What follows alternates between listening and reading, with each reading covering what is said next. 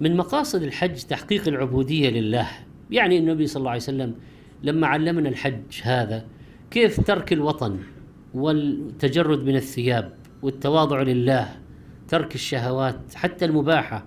يعني طيب النساء شهوات مباحة بس أنت تتركها لله. كيف الواحد تعرف؟ يترك لله مباحات. حيطلع متربي إنه من باب أولى يترك المحرمات. وإذا هو يقول لبيك اللهم لبيك يعني سمعا وطاعة لك يا رب. كذلك فإن يعني كل التنقلات من طواف تقبيل الحجر رمي الجمار الوقوف بعرفة المزدلفة المبيت حلق الرأس حلق هذه كلها فيها تعبدات مبنية على الاستسلام لله.